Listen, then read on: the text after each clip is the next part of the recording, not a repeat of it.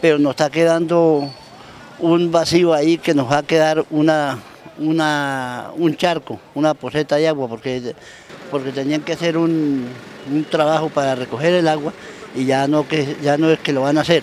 Entonces necesitamos un material para nosotros subirla, quitar tres losas de la que viene, de la calle que viene de allá, y para reducir ahí que nos quede parejo.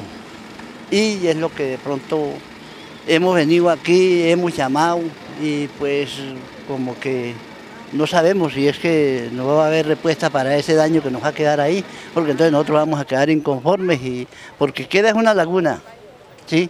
Entonces queremos que nos den respuesta en cuanto a eso.